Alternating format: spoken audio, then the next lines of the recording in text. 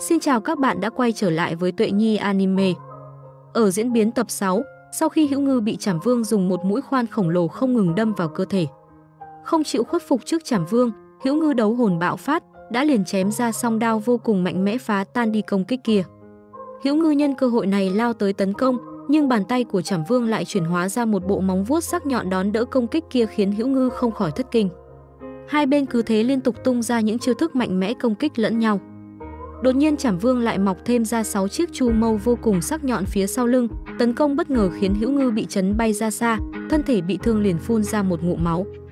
Chưa để cho Hữu Ngư có thời gian nghỉ ngơi, Trảm Vương tiếp tục tấn công, trên tay hắn đột nhiên lại tạo thành một khối truy liền đánh ra một quyền.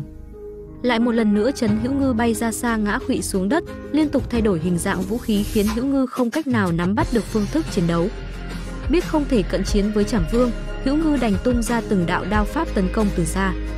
Nhưng điều hắn không ngờ là Trảm Vương lại có thể biến ra hai chiếc nỏ, bắn ra từng mũi tên khiến Hữu Ngư phải chật vật tránh né. Nhanh trí dựa vào khói bụi mù mịt làm Trảm Vương không thể xác định được vị trí chính xác. Hữu Ngư đã nhanh chóng tiếp cận để công kích Trảm Vương, với song đao trên tay đấu hồn tỏa ra mạnh mẽ liền bổ xuống người Trảm Vương. Nhưng Trảm Vương rất nhanh đã phát giác liền thay đổi vũ khí thành một chiếc rìu đánh tới khiến Hữu Ngư lại một lần nữa bị chấn bay ra xa. Cuối cùng Hữu Ngư cũng biết được, đấu hồn của Trảm Vương có thể tùy ý biến ra bất kỳ loại vũ khí nào hắn muốn để sử dụng. Tỏa ra đấu hồn với một ngọn lửa màu xanh, trên tay Trảm Vương lại mọc ra một loại vũ khí vô cùng đáng sợ cùng với những chiếc chu mâu mọc ra từ phía sau lưng. Cứ thế cả hai bên đấu hồn bạo phát lại tiếp tục lao vào công kích lẫn nhau hết sức ác liệt. Đột nhiên thân thể Hữu Ngư liền bộc phát ra một cỗ năng lượng vô cùng mạnh mẽ, liền khiến cho công kích của Trảm Vương dường như bị trì trệ. Đây là kỹ năng mà Hữu Ngư mới bộc phát ra, tăng trọng lực cho không gian, trọng lực khống chế. Nhân cơ hội này Hữu Ngư đã thành công dùng đao pháp của mình khiến Trảm Vương bị thương. Đúng lúc hai bên chuẩn bị tiếp tục giao chiến thì Tân Nguyệt cũng liền bảo hai người dừng lại và liền trị thương cho cả hai. Đồng thời cũng nói cho Trảm Vương biết Hữu Ngư đã gặp được tiên tổ của Atula và đã vượt qua được khảo nghiệm. Biết được chuyện này, Trảm Vương đã dùng một miếng sắt hiếm giúp cường hóa song đao của Hữu Ngư xem như làm quà tặng. Hữu Ngư lúc này xem như cũng đã có được sự công nhận thực lực của Trảm Vương dành cho mình và cũng nhanh chóng rời đi tới vị trí của vị vương tiếp theo. Chuyển cảnh tới một thị trấn với băng tuyết bao phủ vô cùng lạnh giá. Hai cha con luôn đi theo Hữu Ngư đã sớm có mặt ở đây để chờ hắn tới khiêu chiến Uyên Vương.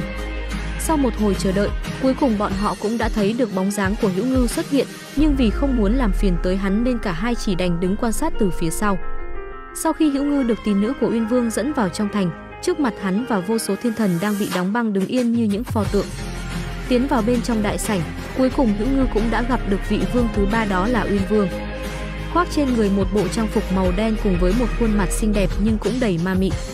Trên bàn lúc này chỉ toàn thấy thịt rượu, mà chính Hữu Ngư cũng không thể ngờ đây chính là thịt của thiên thần. Uyên Vương cũng nói cho Hữu Ngư biết, nàng ta cùng Tịch Y và Liêu Kỵ là cùng nhau trốn thoát khỏi thiên giới nên cô ta cũng chính là một trong những cửu thập cửu quỷ năm xưa. Sau khi giải thích cho Hữu Ngư biết thêm một số điều, Uyên Vương cũng dẫn hắn ra bên ngoài để có thể tận mắt nhìn thấy đám thiên thần bị nàng ta bắt về. Những tên này đã bị Uyên Vương khống chế thần trí, bây giờ chỉ như những thây ma không hồn, cứ thế bọn chúng liền lao vào tấn công Hữu Ngư. Nhanh chóng vào tư thế chiến đấu, Hữu Ngư với song đao trên tay cũng liền chém tới đám thiên thần kia nhưng dường như không có tác dụng. Hắn liền phóng tới nhằm công kích Uyên Vương thì ngay lập tức bị nàng ta đóng băng, hai chân không thể nào di chuyển. Mặc dù chống trả quyết liệt nhưng Hữu Ngư càng ngày càng bị đóng băng nhiều hơn, khiến toàn bộ cơ thể không cách nào cử động. Tới đây thì cũng vừa hết tập 6, và rồi liệu rằng Hữu Ngư có chiến thắng được Uyên Vương không? Các bạn nhớ đón xem Tuệ Nhi Anime Review ở tập 7 nhé! Xin chào và hẹn gặp lại các bạn ở các video tiếp theo.